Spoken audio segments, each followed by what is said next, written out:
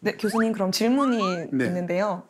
그러면 그 당시에 거 946년 밀레니엄 폭발 당시에 거의 세계적인 이제 영향을 미쳤잖아요. 예.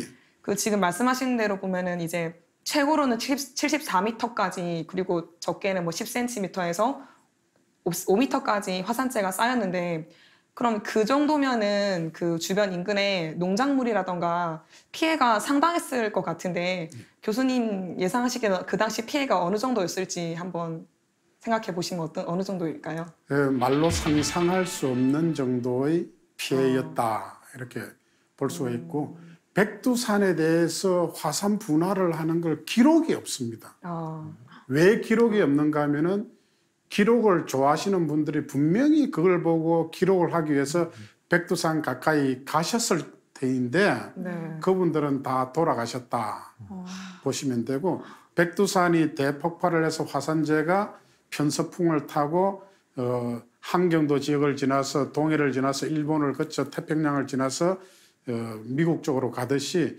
이 화산재뿐만이 아니고 화산 활동 때 동시에 화세류라고 해서 뜨거운 화산재 온도가 700도에서 500도 정도 되는 화산재가 아, 백두산 주변에 이렇게 퍼졌습니다. 아. 그래서 그는 온도가 700도에서 500도씨 정도고 이동 속도가 산 사면에서는 시속 400km, 평지에서는 시속 100km 이렇게 이동하기 때문에 그걸 만나면은 그대로 동물은 동식물이 아. 정발된다고 보시면 될 수 있기 때문에 그래서 백두산 천지로부터 반경 약 60km, 70km 이내에 있던 분들은 다 정말? 돌아가셨고 아. 어, 그렇게 됐기 때문에 그런 기록을 남길 수가 없고 그래서 여러분들이 백두산 갔다 오시면은 오신 분은 백두산 주변에 울창한 산림들 있잖아요. 네. 네. 그래서 그거는 그 산림들은 천년 전 대분화, 밀레니엄 분화 이후에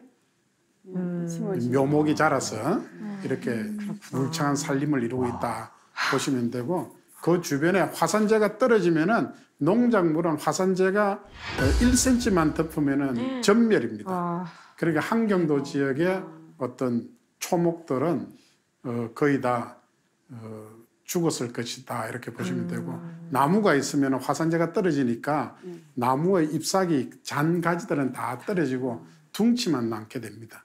그래서 그 둥치도 말라 죽어버리면 죽는 것이고 그게 다시 살아나면은 이제 거기서 잎이 나고 할 수 있는데 뭐 파국적인 화산 분화였다. 막 그렇게 설명을 드릴 수가 있습니다. 아, 현재 지질 조사를 통해서 찾아보면은 이 굵은 선으로 돼 여기가 백두산 천지고요. 이렇게 있습니다. 그래서 이제 그 당시에 여기는 아주 온도가 높지만은 멀리 떨어지면은 어, 온도가 떨어지겠죠.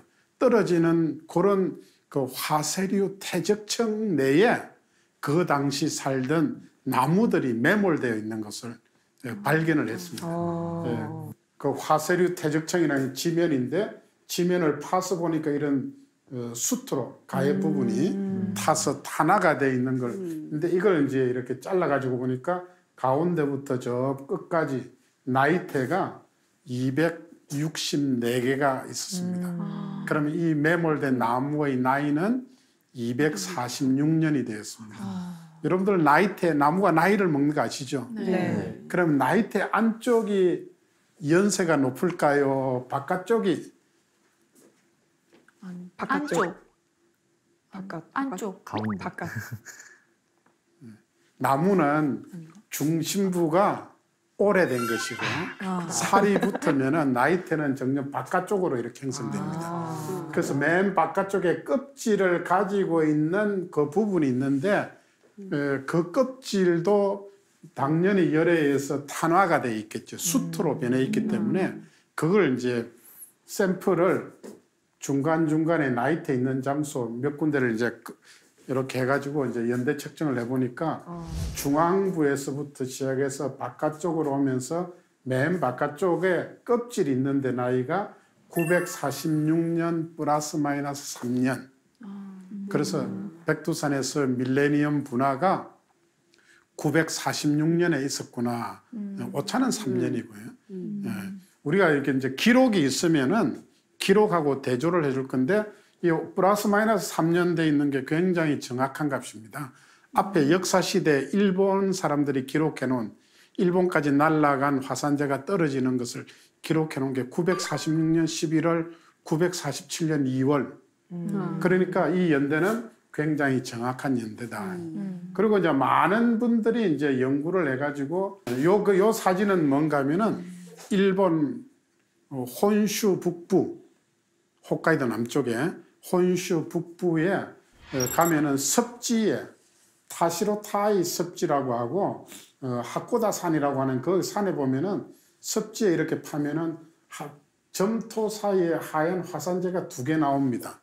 두 층이 나오는데 이거는 이제 915년에 일본의 토와다라는 칼데라 화산이 대폭발을 하면서 그 날아간 화산재가 가라앉아서 된 거고 그 위에 요렇게 있는 요게 요한 5cm 정도 요게 백두산에서 날아간 겁니다. 그래서 실제로 저렇게 어, 일본에서도 백두산의 어떤 화산 활동의 있는 것을 볼 수가 있다 이렇게 어, 말씀드리.